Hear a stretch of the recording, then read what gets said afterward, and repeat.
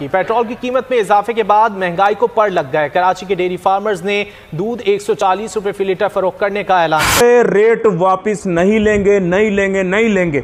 ये खुआ दुकानें सील कर दें। अगर कमिश्नर साहब हमसे बात करेंगे तो कहीं ना कहीं चीज़ें दरमियान में हम कर लेंगे। बसूरत दीगर हम मजीद पंद्रह रुपए का अगले माह इजाफा करेंगे और आप हमारा कुछ भी नहीं कर सकेंगे। शाकिर गुजर ने धमकी दी कि रुकावट डाली तो वो नेशनल हाईवे और सुपर हाईवे पर भैंसे खड़ी कर देंगे। हम रोडों पर अपनी भैंसे लेके आएँगे। मैं आपको बता दूँ कि जी हम मैरान हाईवे, हम रेलवे ट्रैक, हम नेशनल हाईवे, सुपर हाईवे पे बेक वक्त भैंसे लाएँगे और पूरा ब्लॉक कर देंगे। अगर हम पे इन्होंने बेताशा और नाजायज प्रेशर डाला कमिश्नर कराची ने। दूसरी जानब कमिश्नर कराची की हिदायत पर चंद दुकानदारों के खिलाफ कार्रवाई की गई। शहर भर में सिर्फ़ छिहत्तर दुकानों पर चंद हज़ार रूपए के जुर्माने किए गए। शाकिर गुजर समेत चंद एक दुकानदारों को हिरासत में भी लिया, ताहम कुछ देर बाद रिहा कर दिया। जबकि शाकिर गुजर का कहना है की उनको हिरासत में नहीं लिया गया और वो घर पर मौजूद है। जुहेब जेजा 92 न्यूज़ कराची। आपने सबसे पहले घबराना नहीं। पाकिस्तान में दूध के लिए तरस रही है जनता।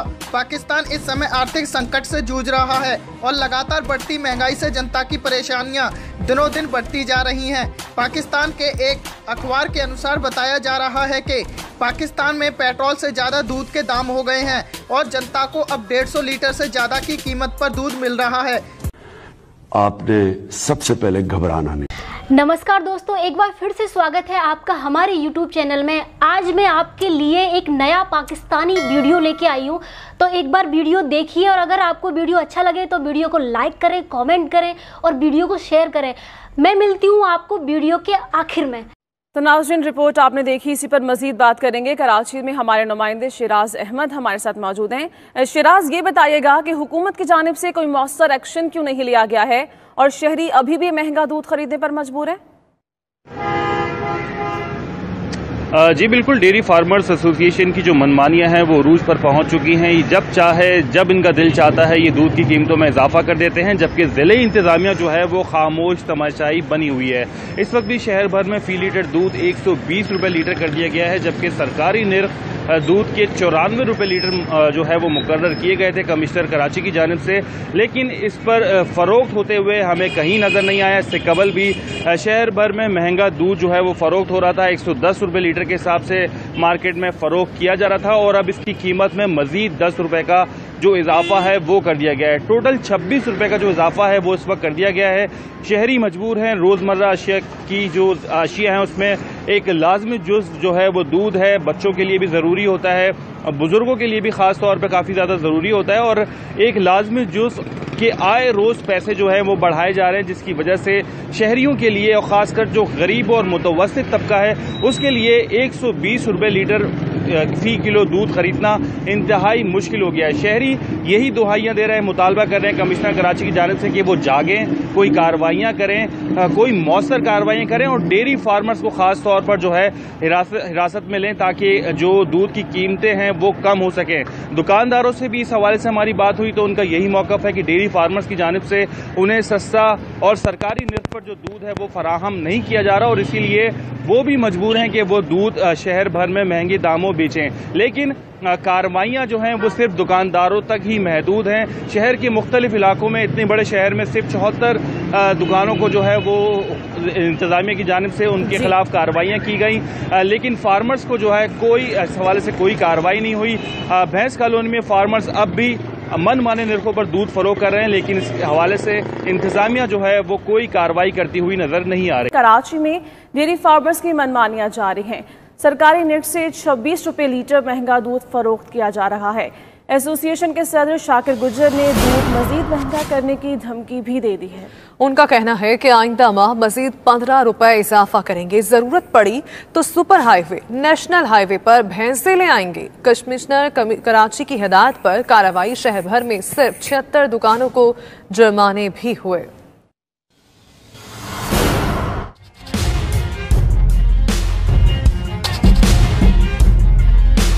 कराची में ग्वालों की मनमानी। दूध की कीमतों में एक बार फिर मनमाना इजाफा कर दिया। दूध के सरकारी नर्क चौरानवे रूपए लीटर है। पहले ही ग्वाले 110 रुपए लीटर फरोख्त कर रहे थे और अब मजीद दस रूपए इजाफे के बाद 120 रुपए लीटर फरोख्त किया जा रहा है। सदर डेयरी फार्मर्स एसोसिएशन शाकिर गुजर ने कहा की आइंदा माह मजीद पंद्रह रूपए का इजाफा करेंगे। हुकूमत से महँगाई में इजाफे का नोटिस लेने का मुतालबा कर दिया है।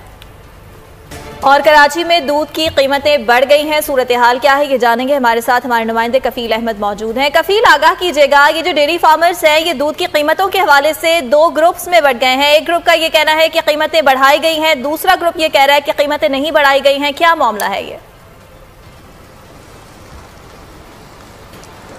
देखिए, कराची में जो है, जिस तरह दीकर अगर अगर हम बात कर लें तो इस वक्त जो है वो डेयरी जो है वो डेरी जो फार्मर्स हैं वो माफिया की शक्ल इख्तियार कर गए और तकरीबन ये 11 महीने के बाद एक मरतबा फिर कराची भर के अंदर जो दूध की कीमतें हैं, उसमें 11 फरवरी से इजाफे का ऐलान का ऐलान कर दिया गया है।